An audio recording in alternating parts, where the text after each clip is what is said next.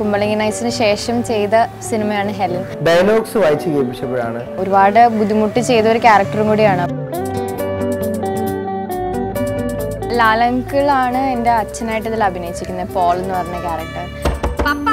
അച്ഛൻ മകൾ ബന്ധം ഞങ്ങൾക്ക് ആ കെമിസ്ട്രി വർക്കൗട്ട് ചെയ്യാൻ പറ്റിയതെന്ന് പറഞ്ഞാൽ എനിക്ക് കുഞ്ഞിലെ തന്നെ അറിയുന്ന ഒരാളാണ്. അപ്പം ഞാനും പപ്പയൊക്കെ ഏകദേശം സെയിം കെമിസ്ട്രി തന്നെ. എനിക്ക് തോന്നുന്നു അതുകൊണ്ടാണ് ഒരുപാട് സീനുകൾ എനിക്ക് റിലേറ്റബിൾ ആയിരുന്നു. എന്റെ പപ്പയോട് ഞാൻ എങ്ങനെയാണോ സംസാരിക്കുന്നത് അതുപോലെ തന്നെയായിരുന്നു.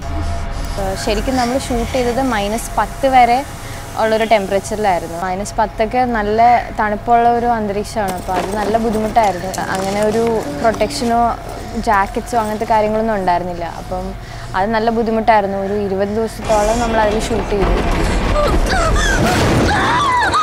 സർവൈവൽ ആണല്ലോ ഇന്ന് കൂടുതലും സ്ത്രീകൾക്ക്. അതാണല്ലോ നമ്മുടെ സൊസൈറ്റിയിൽ അവർ നേരിടുന്ന മുഖ്യമായ പ്രശ്നം.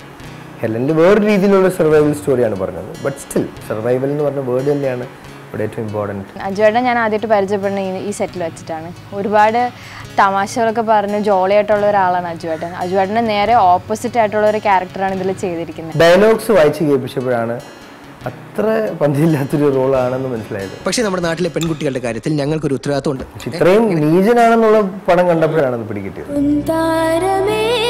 എനിക്ക് ഒരു ഫ്രൂട്ട്ഫുൾ എക്സ്പീരിയൻസ് ആയിരുന്നു ഹെലൻ എന്ന് പറഞ്ഞ ഒരുപാട് ലേണിംഗ് ആസ് എൻ ആക്ടർ ഒരുപാട് കാര്യങ്ങൾ പഠിക്കാൻ പറ്റിയ ഒരു സിനിമയായിരുന്നു.